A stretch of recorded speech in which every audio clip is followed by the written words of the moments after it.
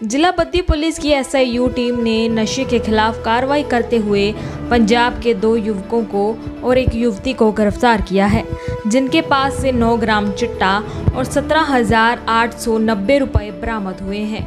आरोपी बद्दी व बरोटीवाला में चिट्टा तस्करी करने आए थे, जिन्हें गिरफ़्तार करते हुए आगामी कार्रवाई अमल में लाई जा रही है।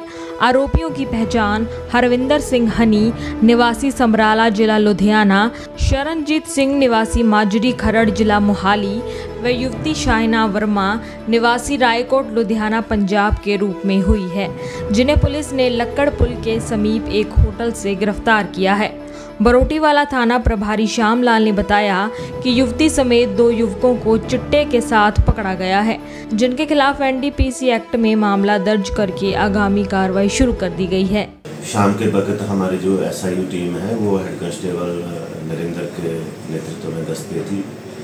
तो सूचना मिली कि लकड़ डिपो के पास एक होटल है। उस होटल में पंजाब के दो लड़के और एक लड़की ठहरे हुए हैं और उनके पास जो है चिट्टा हो सकता है, जिस पर एसआईयू टीम ने वहाँ पर रेड की।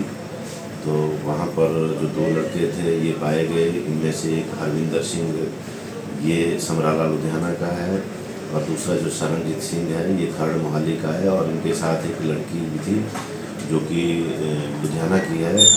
और इनसे नौ पॉइंट चुंजा ग्राम, नौ पॉइंट कुंजा ग्राम चिट्टा बरामद हुआ है और नकदी बरामद हुई है जो सतारह हज़ार आठ सौ नब्बे रुपये है, जिनके खिलाफ अभियोग पंजीकृत कर दिया गया है और इनको आज माननीय अदालत में पेश किया जाएगा और अन्वेषण में हम इसके बैकवर्ड और जो फॉरवर्ड लिंक है, उसके ऊपर कार्रवाई करेंगे। तो आज माननीय अदालत में पेश किया बद्दी से अनवर हुसैन की रिपोर्ट। युग मार्ग टीवी।